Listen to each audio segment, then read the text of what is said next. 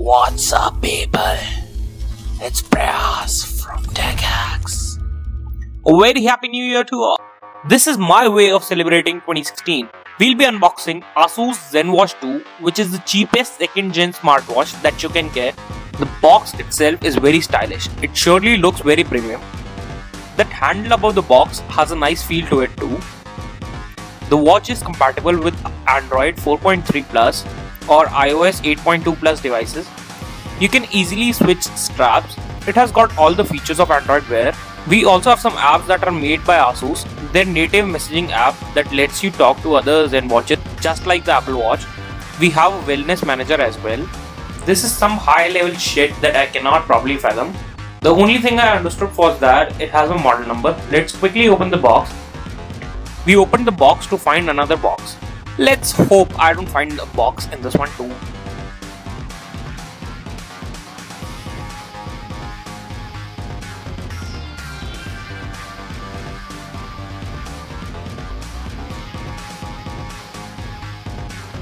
Same stuff is written on the box too.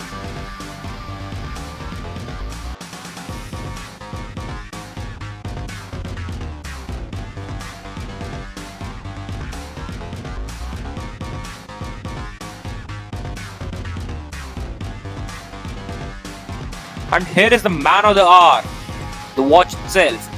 It is looking quite good.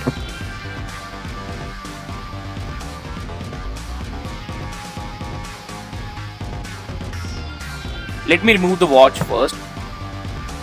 This is a 37mm variant, which according to me is the perfect fit for smaller wrists. We'll keep the watch to the side for now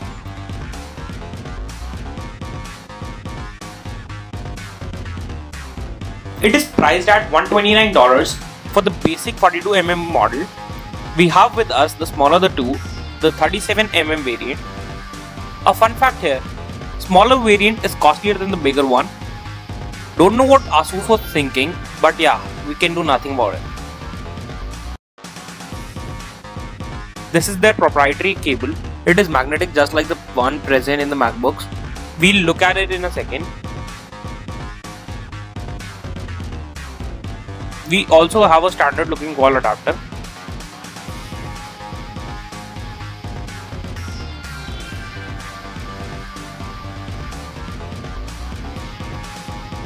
Manuals are hidden in a nice way. It's nice to hide away the boring stuff. I had to literally look up for it.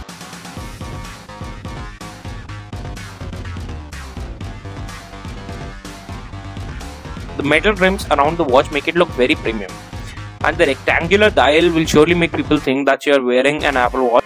Not that I would want that, but they are surely very reminiscent. They are like the brothers from different mothers. It's like one is a Tom Cruise from MI5 and the other one is a Tom Cruise from Top Gun. I'll leave it up to you to decide which one is which. Even Tim Cook can mistake ZenWatch 2 for Apple Watch.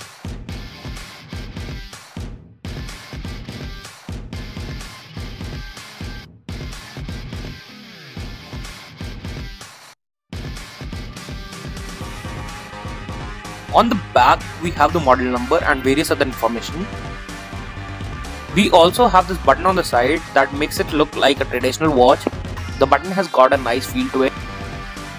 I know the strap color is a little bit girlish, but they didn't have another color in the smaller size. I'll try installing a traditional watch strap and will let you know how that worked out for me in the next video. This is their proprietary charging cable. It has got this magnetic ends it sticks to the charging port quite nicely, but it can be dislodged very easily so you have to be careful.